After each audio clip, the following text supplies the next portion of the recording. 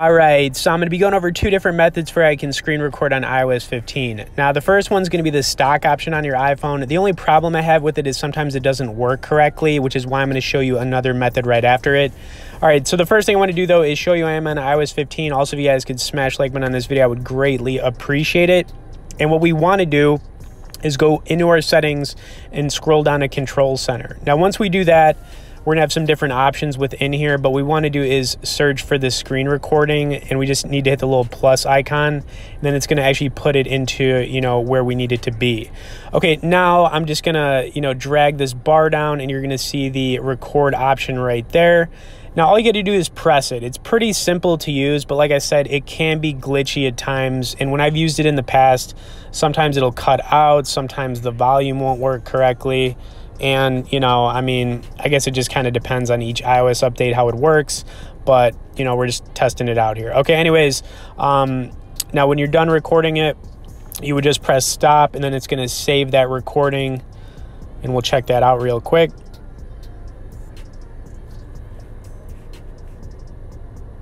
All right, and boom, there is the first option. Now, I really want to talk about this second one you are going to need to use a third party app. It's called the Recorded app. It is my favorite for screen recording on iOS. I basically use it for just about everything.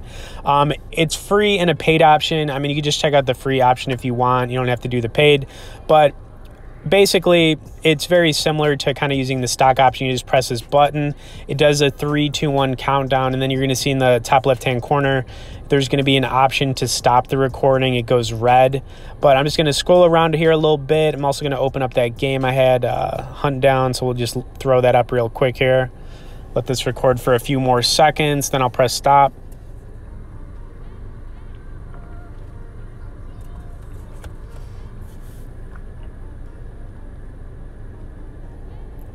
Okay, and basically the same thing. It's going to save it for us. So we're just going to pull it up.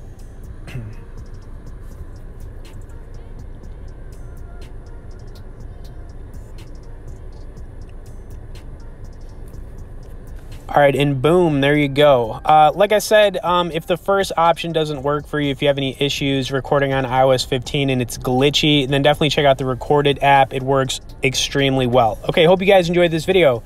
If you could smash the like button, subscribe to the channel if you haven't. Thanks for watching. We'll see you in the next one.